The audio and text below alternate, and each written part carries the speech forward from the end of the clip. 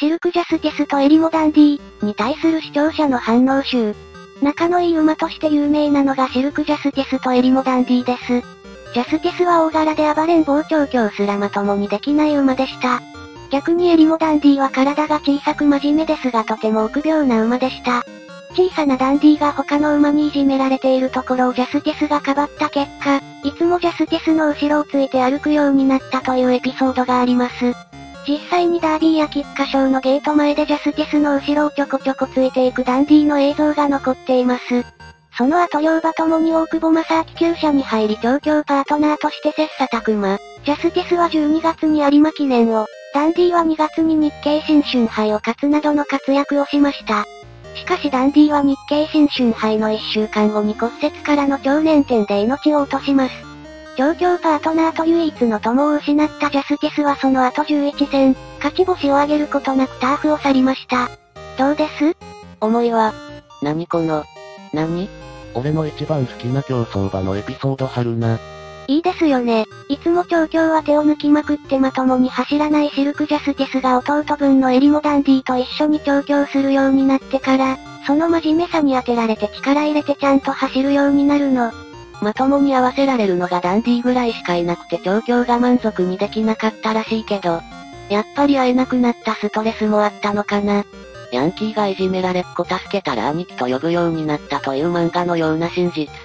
ジャスティスと真面目に練習に付き合ってくれたのがダンディだけだった模様。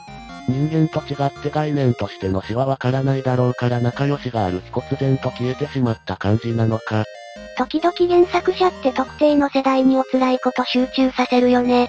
シルクジャスティスとエリモダンディのエピソード本当に好きなんですよね。最後はやりきれない気持ちでいっぱいですが、97有馬記念の激走は忘れてないで。秋5戦しっかり走った上で時代に名を残す強豪コバを外からぶち抜く渾身のレース。俺にとってはクラシック同期の強さをジャスティスが堂々と証明したレースなんだけど、それはおセンチが過ぎるやろうか。田原の、信じ、信じさせ、スコ。基本的に良い人やねんあの人は。ついに掴んだ G1 勝利がエアグルーヴ、マーベラスサンデーを打ち倒した有馬記念だからな。ダンディも豊かが楽しみというくらい素質はあったんだよ。エリモも本格化してきて最後の日経新春杯とか強い勝ち方だったし G1 も十二分に狙えたのに。エリモダンディの戦績見てるともし生きてたらどういう路線に行ったんだろうという妄想がはかどる。新馬戦以外京都で勝ってて3000の菊除いて京都で上位外してないんだな。なんで原作者はハッピーエンドにしてくれないんですか？原作者、だってお前らこういうの好きだろ？97世代お辛い話がオンパレードすぎて神はさ。鈴鹿や福来たるの同期か。97世代が一番好き。メンツが恋のよまた。色々不幸もあったけど、素質だけなら最強世代になり得たくらい層は熱いと思ってる。短距離、マイル、中距離、長距離、ダート、牝馬角路線にかなりの実力馬揃ってるしね。鈴鹿といいサニブといい服といいこの世代怪我でどうにかなる奴らが多すぎなんだよな。そして彼らを横目に最後まで怪我なく走り切った黄金予定さん。あいつはいろいろな物語を見届けるポジションだからな。同期のサニー・ブライアンも濃いからな。名言、名実況ともに必ずと言っていいほど挙げられる。零細牧場、引退寸前の騎手。同期鈴鹿とはまた違う逃亡者。同じ父でもジャスティスとは正反対の客室。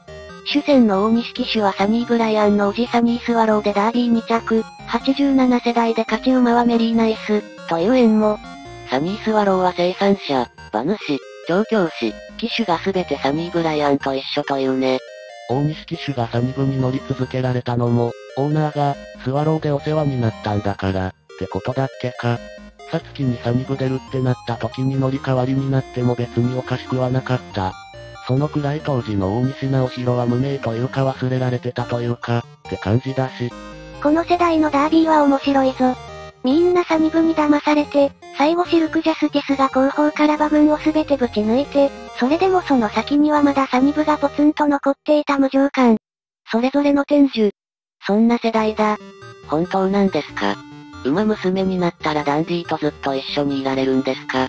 シルクは今は社大クラブだから難しいとして、襟持ってまだ誰もいないんだよな。ダンディ以外だとジョージとエクセルしか知らない。ジャスティスの時代は社代じゃなくて早田参加だったしその変動だろうね。大柄で乱暴なジャスティスと小柄で気の弱いダンディで原作からバランスが良い。馬体重から考えると、160センチ台の大柄なジャスティスと、140センチ台の小柄なダンディか。対照的でいい組み合わせだ。ジャスティスの方が矢印でかいじゃん。そやでかくなるか。何かあったゴルジャス。こいつらの何かあった未来感がある。こいつらに関しちゃ原作者はコメディ、ギャグ要素を強めにしてネタに走ったからよかった。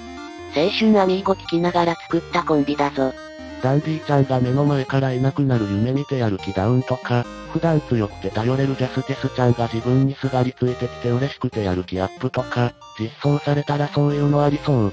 才能はあるくせにわがままで練習嫌いな自分ほど嫌な馬はいないなと自覚してるシルクが、襟元であったことでレースへの情熱を育み周りの人たちと打ち解けていくストーリーを見たいね。そういやジャスティスとダンディは父親が同じなんだよね。死ぬのが美しいのはわかるが馬娘は救済も目的の一つのような気もする。馬娘は救済が目的よくわかる。アプリの特殊実況とかもそうだしアニメ一期はまさにそれだったもんな。